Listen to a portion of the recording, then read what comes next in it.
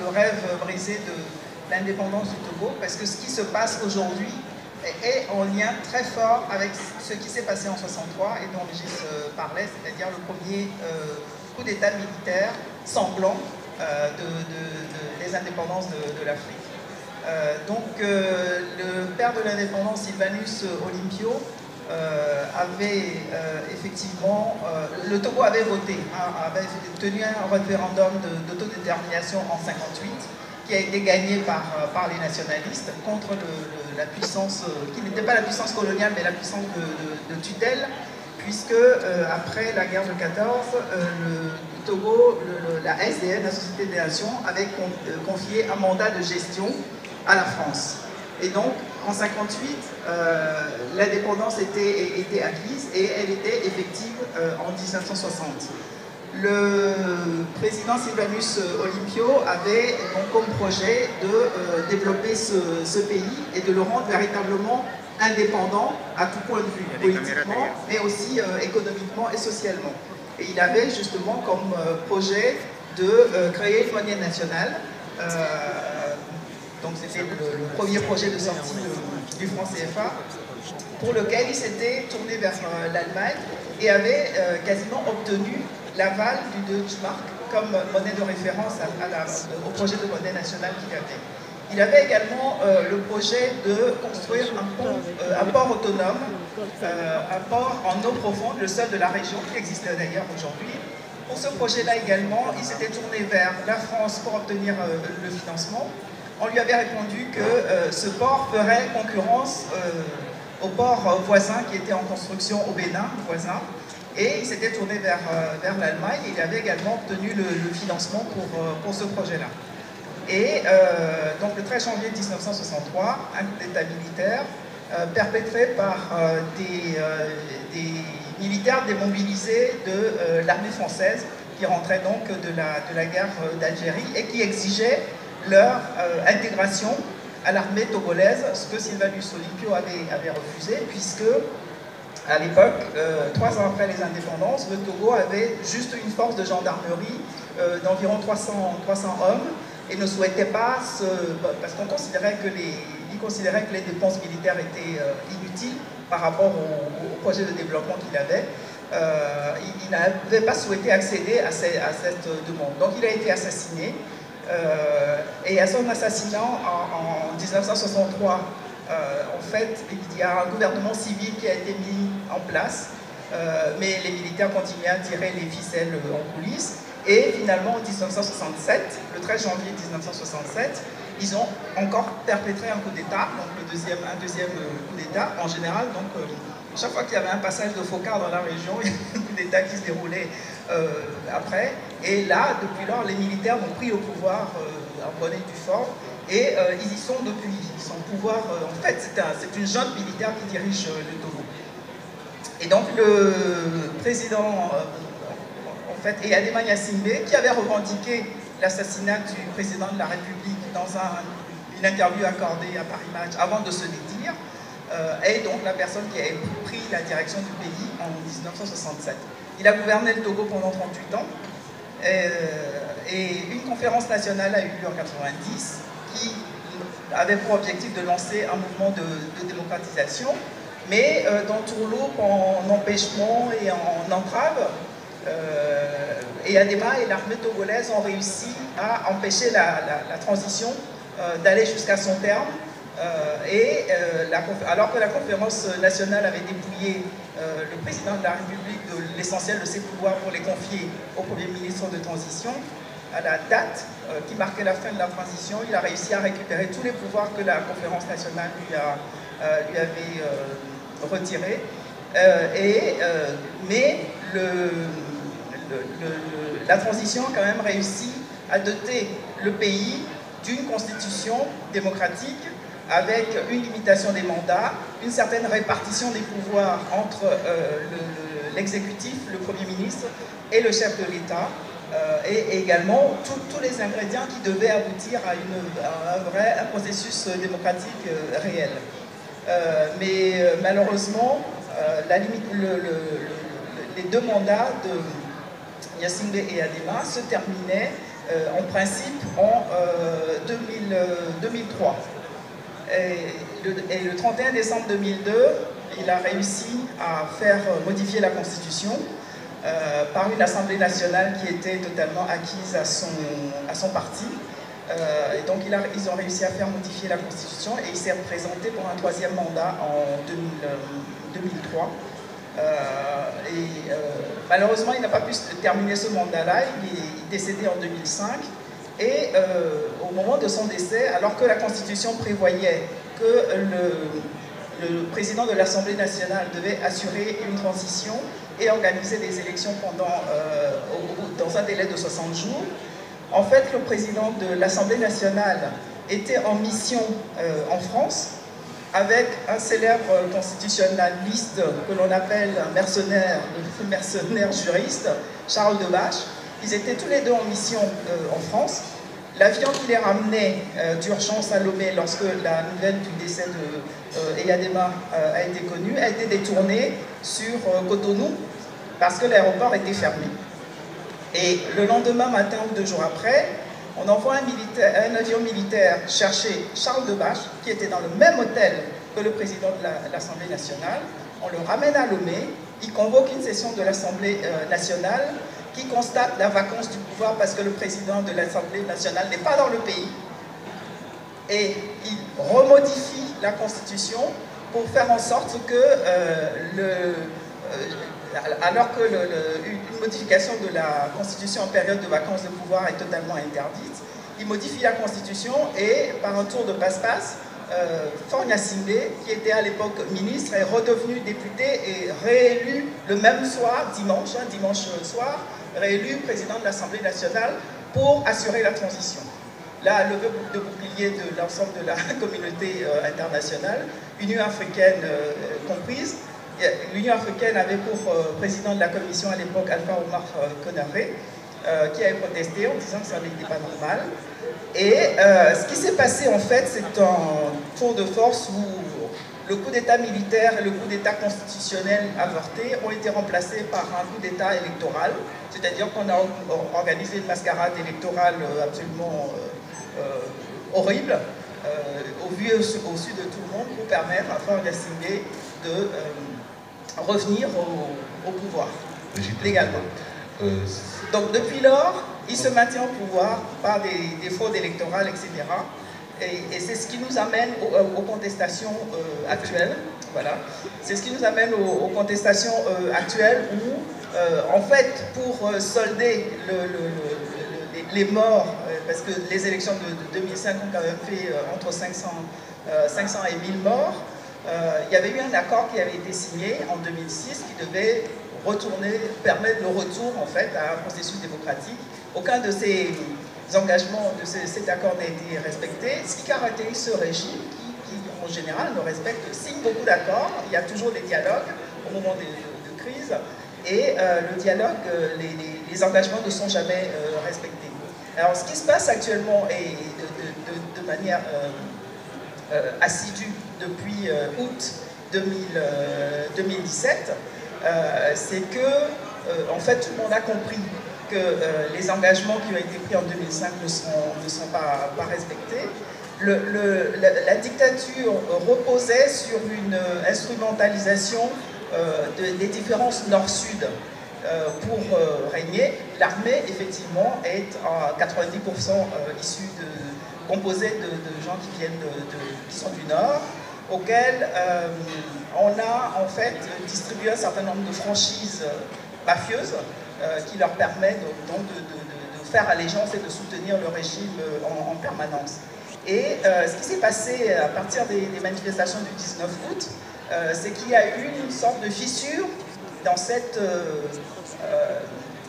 alliance entre les, les, gens du Nord. Et donc, la contestation est partie d'un appel à manifester euh, d'un parti qui s'appelle le Parti national panafricain, PNP, euh, dont le leader est effectivement de la région centrale, qu'on considère euh, comme étant, étant, du Nord.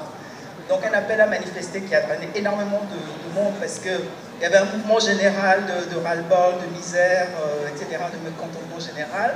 sur lequel vraiment toute la population a, surfé et les gens sont sortis massivement. Cette manifestation a été fortement réprimée et ce leader qui s'appelle Tipi Achadam a lancé un appel aux autres partis de, principaux partis d'opposition. D'accord. Donc depuis, depuis donc, août 2017, il y a une coalition de 14 partis politiques d'opposition. Cette coalition tient, heureusement, elle tient encore, et elle lance des appels à manifester.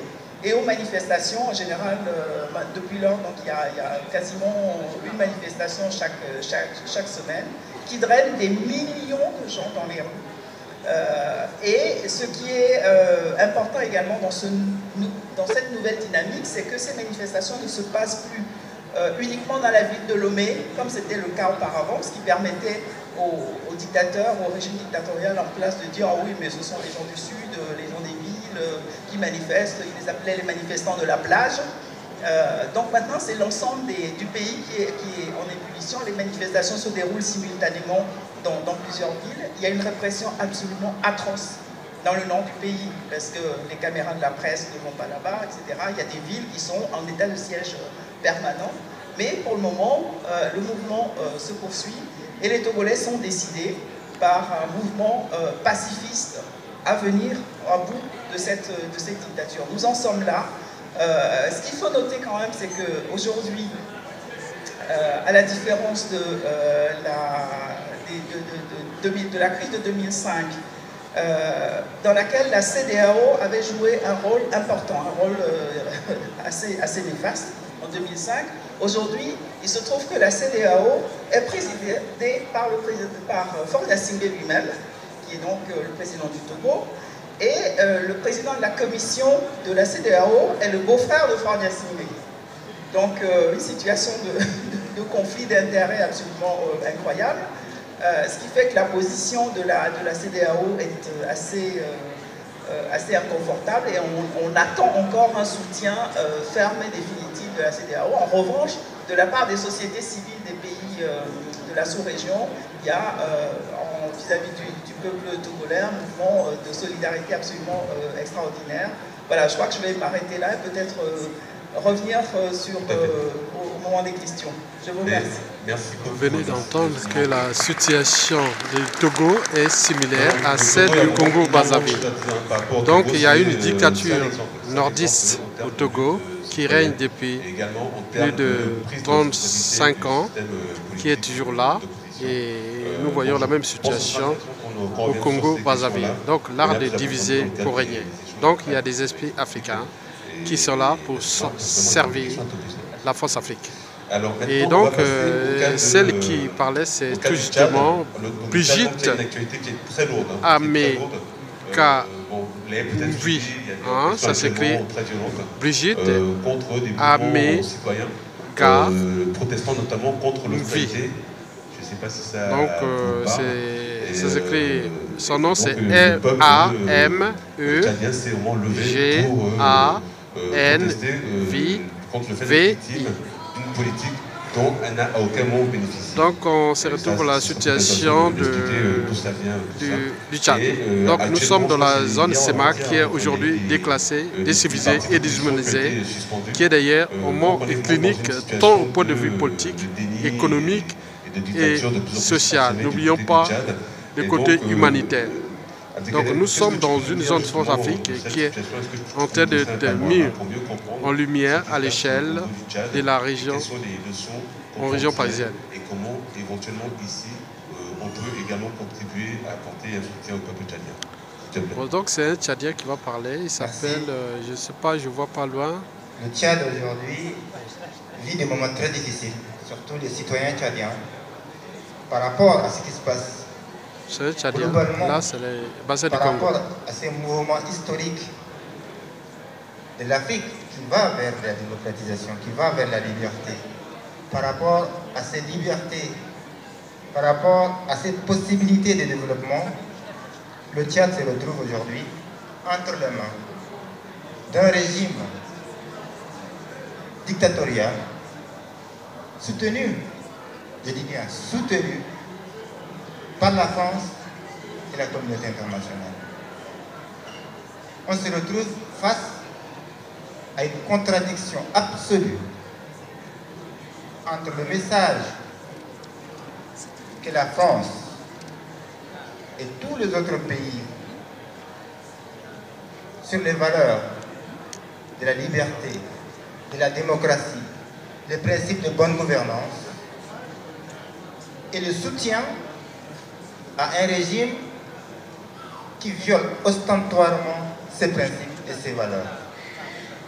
Voilà, on se retrouve face à cette contradiction qui prend en otage la volonté du peuple tchadien à pouvoir choisir son gouvernement, choisir ses dirigeants et pouvoir développer et vivre en paix. Le Tchad, la situation actuelle au Tchad ne date pas d'aujourd'hui. Mais en ce moment, ce qui se passe au Tchad est très intéressant. Pourquoi? Parce qu'aujourd'hui, on se retrouve avec des citoyens et une jeunesse complètement conscientisée face à un régime en faillite et qui utilise la violence pour se maintenir au pouvoir. Depuis 28 ans, Idriss Déby, l'individu qui dirige aujourd'hui le Tchad, est arrivé au pouvoir avec l'aide de la France en promettant la liberté et la démocratie. Je dis bien depuis 1990.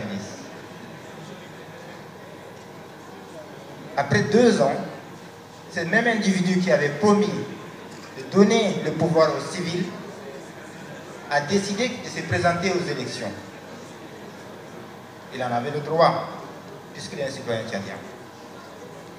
Il a gagné les élections de manière très frauduleuse. Les gens ont dit d'accord. Cinq ans après, il se représente encore de façon recombalexe. Il triche les élections, il gagne les élections. Sous les bienveillants de la communauté internationale. Mais les citoyens disaient toujours, c'est pas grave. Il y a le verrou constitutionnel. Puisqu'il a volé deux fois, mais c'est la troisième, il ne peut pas se présenter. Puisque la Constitution limite le mandat à deux. L'espoir de cette alternance était basé sur ce verrou constitutionnel qui limite les mandats. Qu'est-ce qu'il fait? À la fin de son deuxième mandat, il oblige les députés, il fait venir des juristes français, des conseillers juridiques français au Tchad pour l'aider à modifier la constitution, à faire sauter le verrou et pour se représenter encore sous les bienveillants de la communauté internationale et de la France. Depuis lors, en 2005, il a détricoté, il a détruit tout ce qui a été prévu pour pouvoir éviter qu'un individu puisse s'accaparer du pouvoir, s'imposer par la force et la violence. Il a détruit la structure de la société tchadienne par la corruption, en divisant les communautés traditionnelles, en mettant tous les leaders religieux et traditionnels sous sa botte, en les obligeant à le soutenir. En obligeant les syndicats à baisser la garde. Mais, je dis bien mais, il n'a pas réussi une chose. La jeunesse. Cette jeunesse, après le printemps arabe de 2011, je dis bien cette jeunesse éveillée, qui a pris son destin en main, qui s'est engagée en utilisant les outils, je dis bien en utilisant les outils qui ont permis à briser cette opacité, le contrôle de l'information et la peur distillée parmi, parmi la population, les réseaux sociaux, Internet, qui ont permis à cette jeunesse de pouvoir réinventer, réinventer la façon de s'organiser, de pouvoir libérer l'information, de permettre aux citoyens, je dis bien, d'avoir la parole. Aujourd'hui, les citoyens sont devenus des lanceurs d'alerte. Aujourd'hui, l'information est accessible à tout le monde. Aujourd'hui, grâce à ces réseaux sociaux, on a réussi à pouvoir se réorganiser, à pouvoir faire passer les mots d'ordre, à pouvoir dénoncer. Cette jeunesse, depuis 2011, a commencé à se réorganiser. Avant, l'espace de lutte politique, l'espace de revendication, l'espace d'expression était la rue.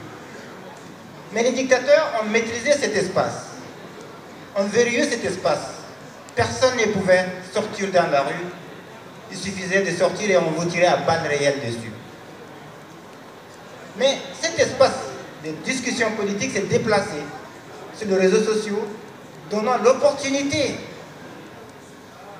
à ce peuple baïonné de pouvoir avoir un espace dont le gouvernement ne peut pas contrôler, dont le gouvernement n'a pas la main dessus s'il ne coupe pas Internet. Voilà cette jeunesse. Et ces débats politiques, ces revendications se sont déplacés dans l'espace virtuel. En 2016, où on a atteint le niveau de la lutte citoyenne jamais atteinte, c'est qu'en 2016, la société civile s'est organisée, la jeunesse s'est organisée, les partis politiques se sont organisés pour pouvoir empêcher, puisqu'en 2016 c'était des élections, pour la cinquième fois le dictateur s'est présenté, pour pouvoir l'empêcher de pouvoir tricher. Ces outils ont permis à la jeunesse, aux partis politiques d'opposition, à la société civile, à la diaspora, aux activistes de pouvoir unir leurs forces, affronter ce régime. Voilà pourquoi il a échoué aux élections de 2016 et il est passé en force. Il s'est autoproclamé président. Ces résultats de 2016 n'ont pas été acceptés par l'opposition, ni par les citoyens, ni par la société civile. Mais qui s'est précipité pour le reconnaître comme président? La France. Alors qu'on était en pleine crise politique, l'opposition menaçait de faire un gouvernement parallèle. La société civile était vendue on a réussi à mettre un rapport de force, à obliger ces dictateurs-là à reculer. Mais tout cet effort a été bâclé par le comportement de ces puissances vis-à-vis de ces dictateurs-là. La France envoie son ministre de la Défense assister à ces cérémonies que les dictateurs organisent pour s'autoproclamer. Comment voulez-vous, quand les citoyens réussissent à défier ces régimes, à défier des dictateurs, à créer un rapport de force et en pleine crise politique, des États se permettent de reconnaître un individu contesté par ses propres citoyens? Au-delà de cette crise politique et en pleine crise politique, nous avons eu la crise économique. En pleine crise économique, nous avons eu des crises sociales. Donc depuis 2016, on se retrouve avec un pays sans président légitime, sans député légitime et sans conseiller municipal légitime. Les députés ont fini leur mandat depuis 2011. Les, conseillers municipaux ont fini leur mandat depuis. Et qu'est-ce qu'ils disent?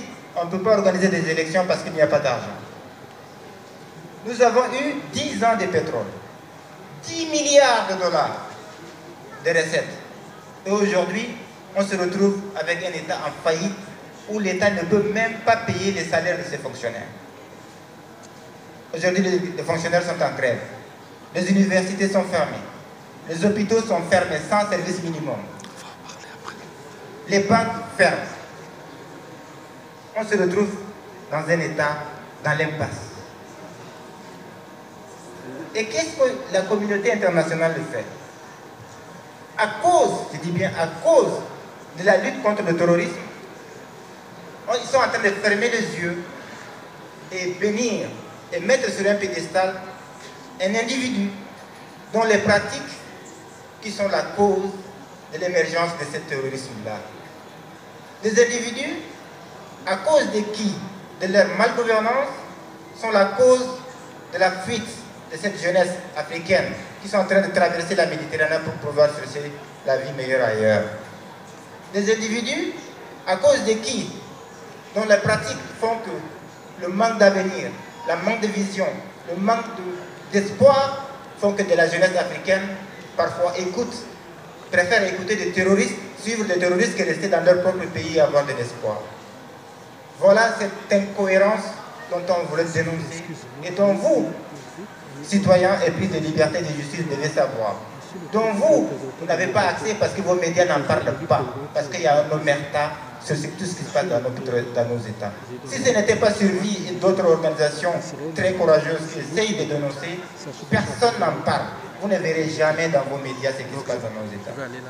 Voilà ce qu'on est venu vous dénoncer. Comment nous aider? Comment continuer à vous faire comprendre, à vous faire parvenir notre message, à vous montrer ce qui se passe dans nos États? La seule façon dont nous, on espère, c'est de pouvoir soutenir les organisations qui nous soutiennent, soutenir les organisations qui nous donnent des tribunes ou qui nous font porter notre voix. Et aussi, l'autre chose qu'on vous demande, vous en tant que citoyens, c'est que vous pouvez faire, c'est d'interpeller vos élus, leur poser des questions, leur demander des comptes. Essayez de comprendre la politique africaine ou la politique extérieure de vos États. Que font votre pays? Que fait la France? Pourquoi la France est capable aujourd'hui de pouvoir lever une armée, aller se battre pour la démocratie en Syrie et ailleurs, et cette même France qui combat Bachar al-Assad ou d'autres dictateurs, soutient des dictateurs pires que ces autres dictateurs qu'elle combat. Pourquoi cette incohérence voilà ce qu'on voulait vous... Vraiment, on n'a pas beaucoup de temps pour en parler de, nos problèmes. Mais ce qu'on vous demande, c'est de vous intéresser à ce qui se passe, de poser des questions, d'interpeller vos gouvernants, parce qu'ils parlent en votre nom, parce qu'ils portent votre nom, parce qu'ils se déplacent en votre nom et parce qu'ils agissent en votre nom. Voilà, je vais répondre à des questions après, mais un dernier mot, sachez qu'en ces moments, il y a des prisonniers politiques au Tchad, des prisonniers d'opinion et des manifestants qui se font tirer à balles réelles, des jeunes, des enfants, des écoliers, des élèves qui se font tirer à balles réelles tous les jours au Tchad. Et aujourd'hui, ce matin aussi, des élèves se sont fait tirer dessus, des journalistes arrêtés, bastonnés et emprisonnés. Voilà ce silence, le silence de ces organisations, l'incohérence et la contradiction de ces élites dites de la communauté internationale et de la France qui sont en train de tuer, étouffer l'espoir et l'élite citoyenne au Tchad. Merci.